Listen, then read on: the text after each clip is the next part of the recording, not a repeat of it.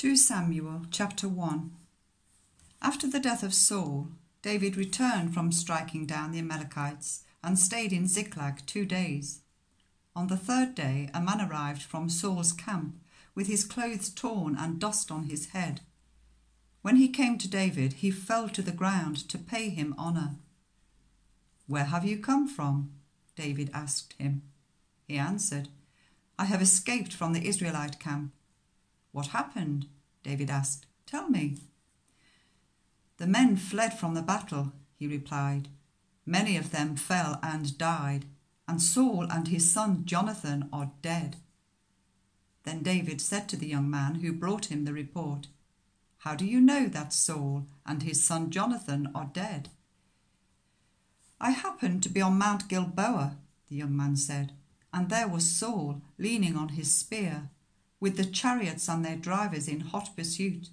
When he turned round and saw me, he called out to me, and I said, What can I do? He asked me, Who are you?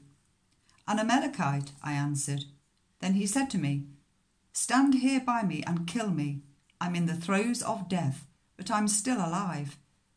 So I stood beside him and killed him, because I knew that after he had fallen he could not survive. And I took the crown that was on his head and the band on his arm, and have brought them here to my Lord. Then David and all the men with him took hold of their clothes and tore them.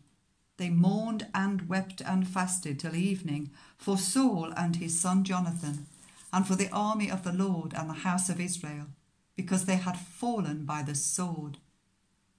David said to the young man who brought him the report, Where are you from?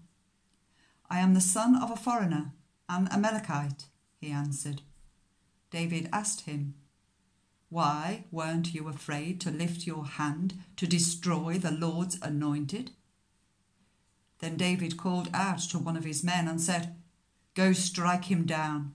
So he struck him down, and he died. For David had said to him, Your blood be on your own head. Your own mouth testified against you when you said, I killed the Lord's anointed.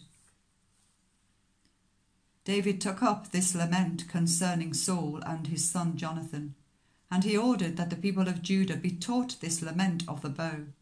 It is written in the book of Jashar. A gazelle lies slain on your heights, Israel. How the mighty have fallen. Tell it not in Gath, proclaim it not in the streets of Ashkelon lest the daughters of the Philistines be glad, lest the daughters of the uncircumcised rejoice.